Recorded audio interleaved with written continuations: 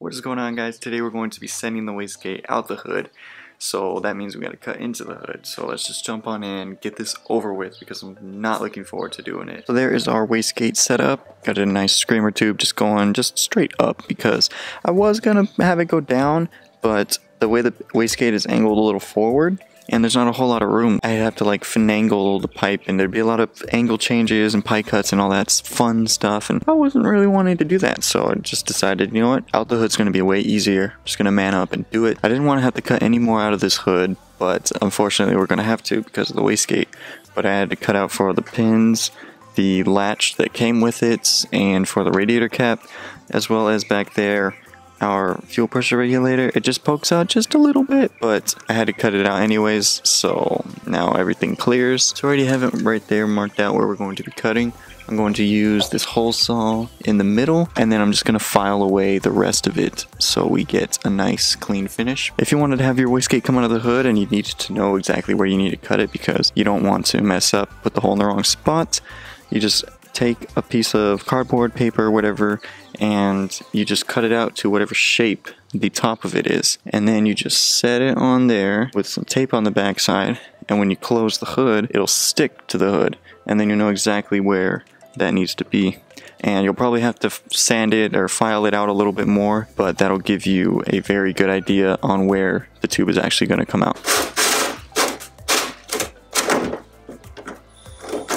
So you saw we cut the hole, I was very nervous about doing that, but it came out like really good. So now we just have to file our way backward. Like I'm hoping it doesn't poke out too much. I measured it to where it should poke out like just barely, but it is holding the hood up a decent amount and we do have some thickness there in the hood, so it might be exactly how I want it. Essentially, I want it to where if you look from here, you don't see it at all. So I'd like it to be in line with how the vent has that line that goes back that sticks up. Alright guys, moment of truth. Oh, would you look at that. It's a rough uh, cut. This side actually looks really good. It follows the pipe very nicely. And on this side, it's pretty good, except this section here, I need to round it out a little bit. But look at that. I mean, it pokes out a little bit more, but it's really nicely like it just it just a little poke you know? Just just sort of like how our actual exhaust is you know?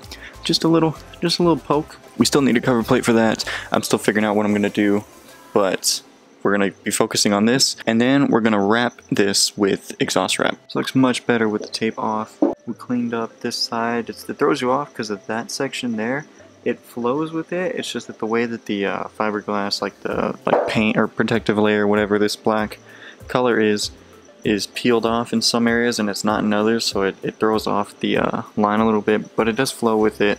And that's not even too important because we will have a cover plate. Once I figure out what material I'm going to use for that, and the one down there, we'll do that, but we're not going to do anything to that right now. There she is. She's all wrapped and good to go, and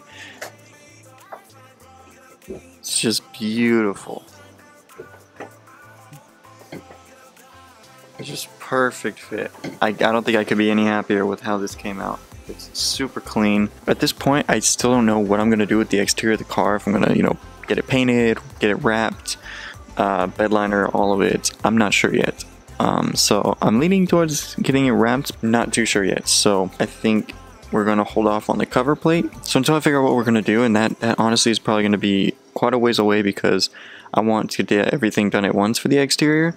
So that means fenders, uh, I have to get front fenders and rear fenders, and that'll be after we get wider tires. So there's a whole bunch of things that need to happen first so at least the cars all the same color, pretty much black. They're similar shades of black. That's okay, this car doesn't have to look pretty, she just has to be fun to drive. Yeah, I'm super stoked at that, that's so cool. Like, for my first hood exit anything, I think I did pretty good. I really like that.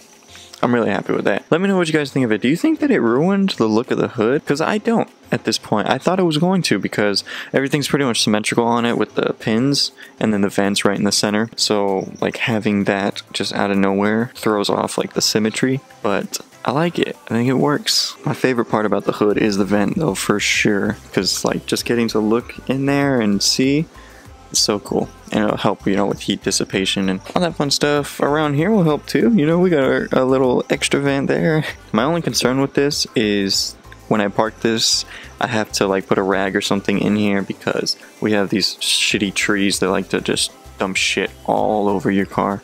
So I'll have to put like a rag or something in there every night. That's not that big a deal as long as I remember to do that. And I'm curious as to how it's going to affect like this paint around there. It'll be a little bit of a test because we don't have a two-step setup yet. We're not really going to see fire coming out of there, I don't think, but it'll for sure, you know, exhaust will be coming out of there. So it's going to get hot, but it's not going to catch fire. Speaking of two steps, once we get that hooked up, once we go back to the dyno, turn up the boost and all that fun stuff, and we get the two-step set up, we're going to see some flames coming out of there, there, and there. That's going to be so cool to see flames coming out of there. Unfortunately, it is nighttime right now, so we're not going to take the car out because the footage will just be crap. So we're going to take it out tomorrow morning. So here's the footage. Enjoy.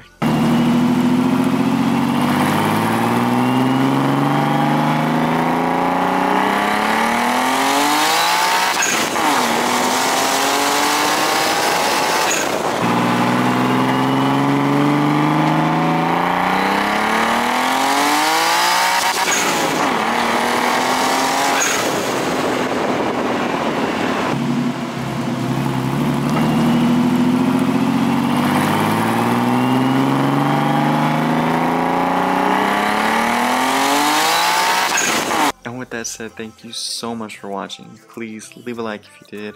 Comment down below. Let me know what you guys think of the Hood Exit Wastegates. And then hit that subscribe button. See you guys next time. Peace.